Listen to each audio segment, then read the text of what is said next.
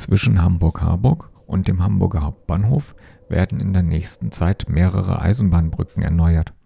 Dieses Video gibt einen aktuellen Überblick. Zuerst einmal eine Übersicht. Die Bahnstrecke zwischen Harburg und dem Hauptbahnhof ist eine der am stärksten befahrenen Strecken in Deutschland. Auf ihrem südlichen Teil ist sie achtgleisig ausgebaut, auf dem nördlichen sechsgleisig. Erst in Dresden gibt es wieder eine ähnlich leistungsfähige Elbquerung im Schienennetz. Viele der Hamburger Brücken erreichen nun das Ende ihrer Lebensdauer. Sie müssen in den nächsten Jahren ersetzt werden.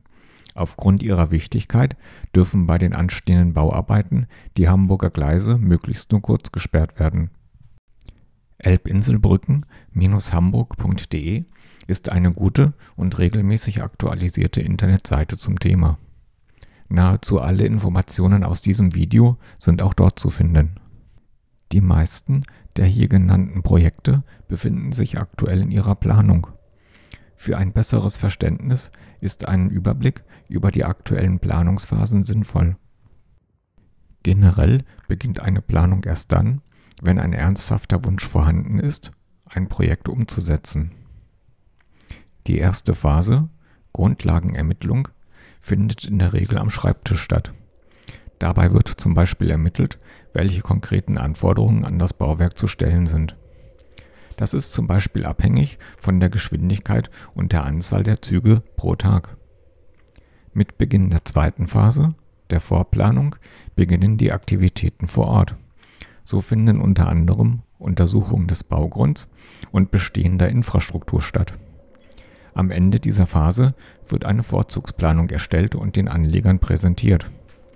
Diese können sich zu der Planung äußern und Einwände vorbringen. Mit den so gewonnenen Erkenntnissen geht es in die Phase 3 Entwurfsplanung. Dort wird die Vorzugsvariante angepasst und weiter detailliert. In der anschließenden Phase 4 Genehmigungsplanung werden die endgültigen Pläne bei der Behörde eingereicht. In der Phase 5 wird abschließend der Ablauf der baulichen Umsetzung geplant. Auf dem Weg von Harburg zum Hauptbahnhof kommen wir zuerst an den Süderelbbrücken vorbei. Bei ihnen handelt es sich um vier zweigleisige Brücken. Sie sind fast 350 Meter lang. Die drei östlichen Brücken sind problematisch. Sie wurden Ende der 70er Jahre in einer neuen, unerprobten Bauweise errichtet wie hier gut an der nordwärts fahrenden S-Bahn zu erkennen ist, besitzen die drei Brücken jeweils nur einen Träger in ihrer Mitte. Um Kosten zu sparen, wurde diese neue Brückenbauart in den 70er Jahren am Rechner simuliert. Die damaligen Programme konnten allerdings nur die statische Brückenlast berücksichtigen. Die dynamischen Lasten konnten damals bei der Simulation noch nicht berücksichtigt werden.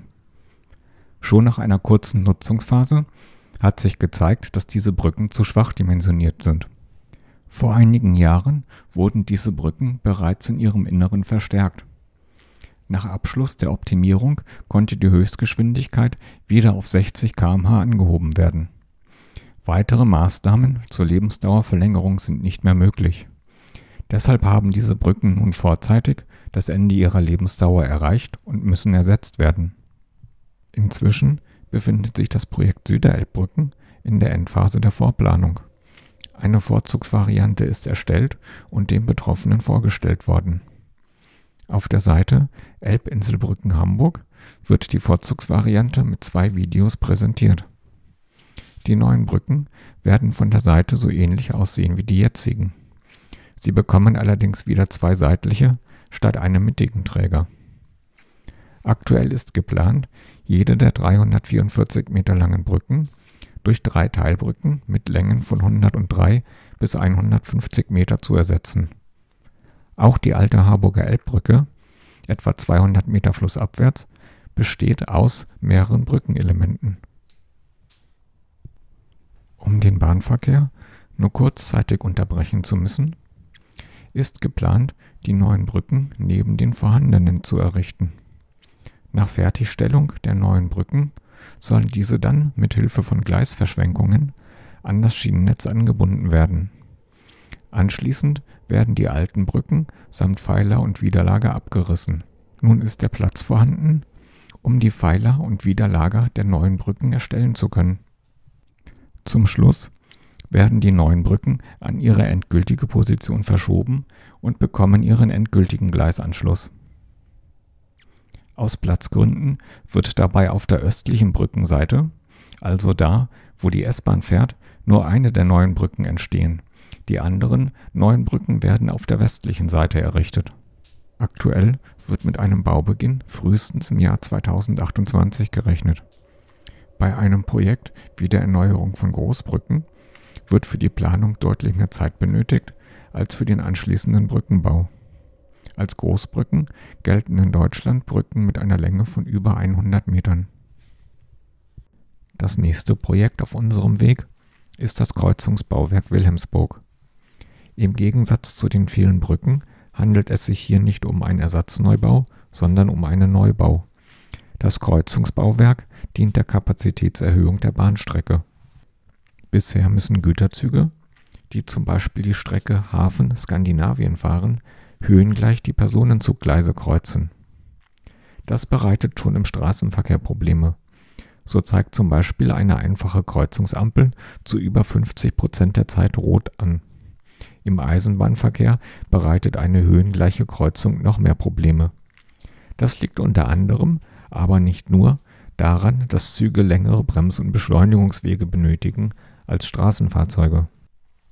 Laut einem Artikel im Hamburger Abendblatt verursachen die Zugkreuzungen zurzeit etwa 200 Verspätungsminuten am Tag. Mit dem geplanten Kreuzungsbauwerk sollen zukünftig die Güterzüge unter den Personenzuggleisen hindurchfahren können. Das Kreuzungsbauwerk soll 1500 Meter lang werden. Die eigentliche Unterfahrung der Personenzuggleise hat dabei eine Länge von 500 Metern. Daran schließen sich zwei 500 Meter lange Rampen an. Nach Abschluss der Arbeiten soll die Strecke am Kreuzungsbauwerk leiser sein als heute Augenscheinlich haben im Herbst an der Strecke Baugrunduntersuchungen und Kampfmittelsondierungen stattgefunden. Eine Vorzugsvariante für das Bauwerk ist bisher noch nicht veröffentlicht worden. So, das soll es erst einmal gewesen sein. Ich hoffe, ich habe in den nächsten Wochen Zeit für ein weiteres Video, um die Brückenreise Richtung Hauptbahnhof fortzusetzen